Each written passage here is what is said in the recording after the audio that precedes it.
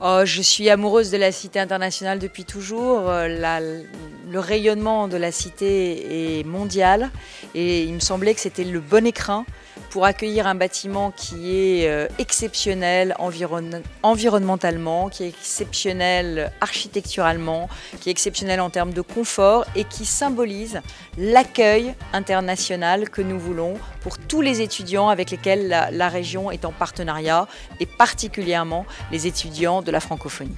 Vous savez que nous avons euh, donc un certain nombre de partenariats signés avec des très grandes capitales, notamment des capitales africaines, mais aussi des capitales asiatiques et, euh, américaines. Et donc nous travaillons avec euh, l'ensemble de ces capitales à l'accueil des étudiants. C'est très difficile de se loger en Ile-de-France et donc nous voulons que ces jeunes chercheurs, ces, ces étudiants confirmés, qui sont sélectionnés par nos partenaires, reçoivent la meilleure qualité d'accueil et à la Maison de l'Île-de-France, ils sont particulièrement gâtés.